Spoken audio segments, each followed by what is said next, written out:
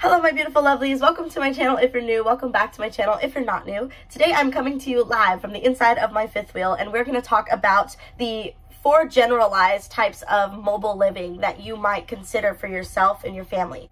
So this video is going to be for people who have considered the mobile lifestyle but aren't really sure what they're getting themselves into and they kind of want an easy breakdown or if you just are curious about, you know, things that you should consider um, and you don't know which um, direction to go, whether that's an RV or a van or, you know, whatever. So I've got four major types. I didn't do like class A, B, C because I thought that could be a little confusing to a beginner. So I just am going to call it your fifth wheel, your travel trailer, your van, and your RV. And so I'm going to talk about out of those options, which might be the best for you, or maybe you're going to find out in this video that mobile living is actually not everything that you thought it was and it's not for you and you'd be better off in an apartment or a house or something like that. So I'm hopefully going to be able to clear up some of those questions for you. First and foremost, um, I'm going to talk about the types of options that you have. So first is a fifth wheel. That is basically something that you're going to need a truck um, to pull. It is where your trailer has a little hitch that goes over it, kind of right here, and your truck's gonna sit right here, and you're actually gonna lift the trailer onto the truck. So you're gonna need something that is gonna be able to haul um, everything, and you're probably gonna need to purchase a hitch as well, special for your fifth wheel, to make sure that everything is haulable. So if you're comfortable with that, first of all, the hitching and the unhitching, which I'll talk about later, and also, um, do you have the right kind of vehicle for that? Versus a travel trailer, you don't necessarily have to have a truck you could have one of those really cool like vans or like minivans um, and you can haul a travel trailer depending on the size and capacity of your vehicle. So that's something to consider. Do you need to purchase a new vehicle um, or do you have a vehicle already ready for the option that you're choosing? Or the other route you could choose a van or an rv so i'm going to call a van just anything that is like um, you know, your typical van, you take the seats out and you create a house out of that. That's kind of on the smaller side. And then I'm going to call an RV anything that's like, you know, about 40 foot. It's like a whole house and you're going to drive it and it feels like you're driving a bus. And I'm only making those distinctions just because if you're a beginner, it can be a little confusing to get into the logistics of what's what, but they're just things to consider. Each and every one of these is going to have a different process of buying and licensing and insurance. So that's also something that you're going to need to consider. I'm not going to go into the details of that in this video. I might make another video about it, but it's something to consider. Um, where you purchase your vehicle is going to be something to consider. Are you going to purchase out of state? If so, are you going to need to pay fees? If you purchase in state, are you going to be able to purchase um, with the dealer or are you going to have to take a loan from the bank? There's just a lot of things to consider. Um, but we're not going to get into all of that because then this video is going to be like super long and I would like to make this video preferably a little bit short and just kind of go over the basics. So that being said, let's go ahead and start. And the first question that I have written down is, so how are you going to tow and how much space do you need? What are you comfortable with? So, so do you have a family, for example? Do you have a family with kids and dogs? Is it just you and your um, spouse? Is it yourself? Um, are you a female solo traveler? If you have an entire family of four, for example, a van might feel really cramped really fast versus if it's just yourself and you're a female solo traveler, a van might be better because you can actually, um, let's say, let's say you're in a parking lot by yourself and something makes you nervous, you can just hop from your bed to the front seat and you can get out of there without ever having to leave your vehicle that in itself is a great bonus if you're feeling unsafe at all. You're already attached to your vehicle. Same thing with an RV, except you're going to be hauling um, a larger vehicle, and so it's going to be a little bit more difficult for you to drive if you're not used to that. So that's something to consider. But keep in mind how much space you're going to need actually and how much of the space that you're using is actually functional. So for example, I've seen a lot of floor plans and I encourage you if you haven't um, already and you're thinking about this lifestyle, go to a RV dealer or a camping world or whatever it is that you have around you and go physically stand inside of these travel trailers, stand inside of fifth wheels, stand inside of toy haulers. Um, that's that's another category that I forgot to mention earlier, but a toy hauler is another option. Um, and that would be a great option if you have actual like kayaks or um, four by fours that you want to take and haul with you wherever you're going. Um, so if you're planning on hauling like a dirt bike or anything like that, that might be another good choice. Um, so that's something to consider as well. So you have your fifth wheel, your travel trailer, your RV, your toy hauler, and your van. So those are the five categories that I should have said earlier. So Anyway, um, that's something to keep in mind. And then when you're standing in the space, see if you can reach the cabinets. See if you can use everything, if it's functional for you and your family. Is there space for your kids to hang out? If you have kids, is there space? Hey, no man. Sorry, I have my dogs. Is there space for your dogs to run around? Um, what are you going to actually need? Does it have a full-size fridge? Does it have appliances that you're used to having? Do you need those things? Do you need a second bathroom? Those are all things to consider. So how are you going to tow it? And how much space do you need? So those are the first two things.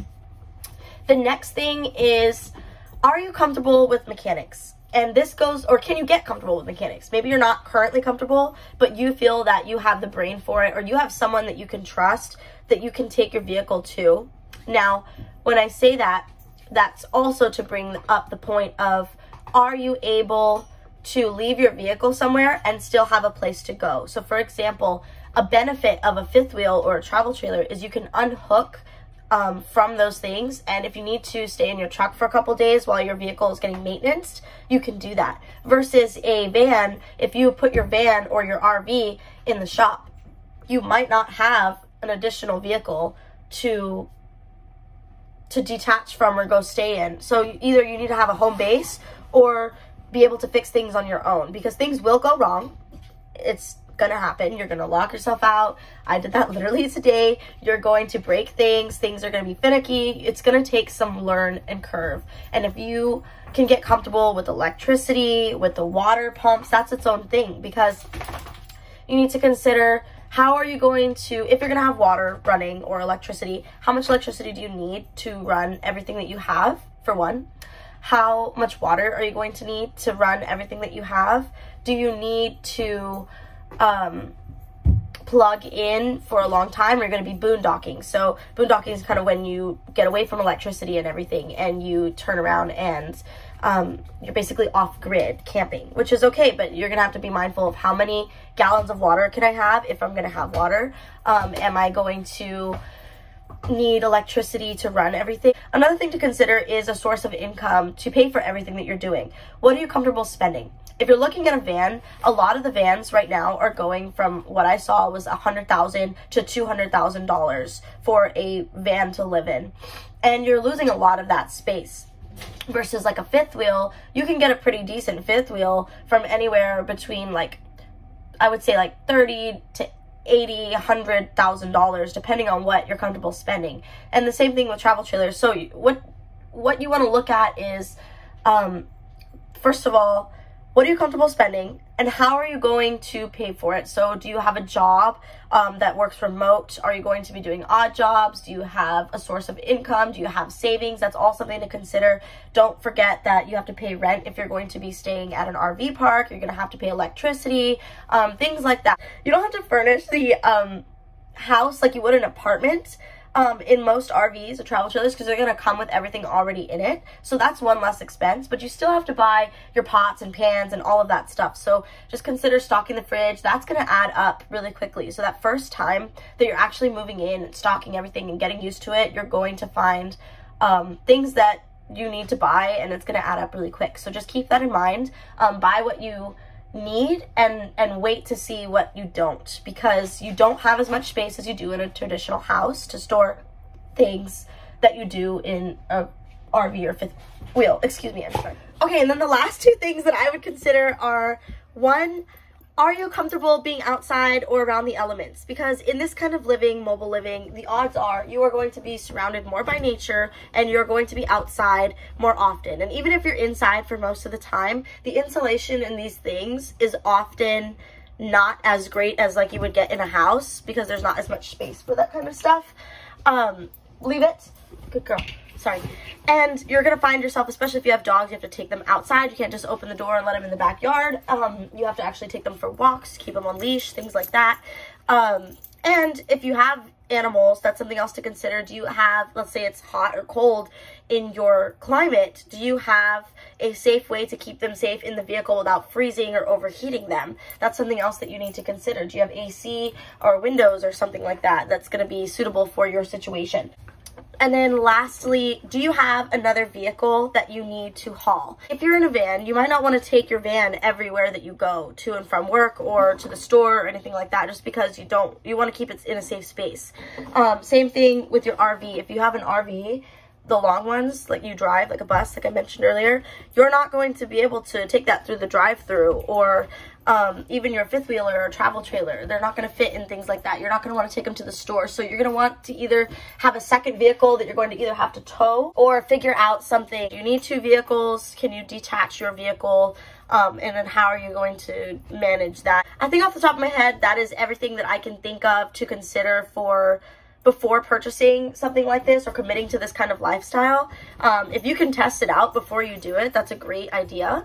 Um, I definitely recommend, but I'm not sure that you would be able to. I think the closest that most people will be able to get to is just actually physically going to the lot um, where they sell these things and then standing inside of each and every one of them and actually using them. And I was one thing that was really cool about where I purchased from was they allowed you to stay the night um, after you made the purchase and find anything that was either out of place or needed to be fixed and they would actually fix it and teach you how to do everything, the slide outs, the hookups and everything. So that was really cool and valuable.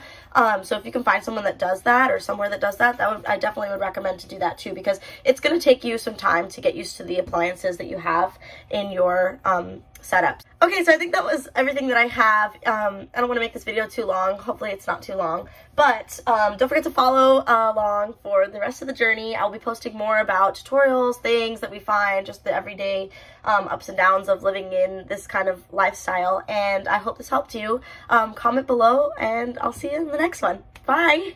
Love, Loren.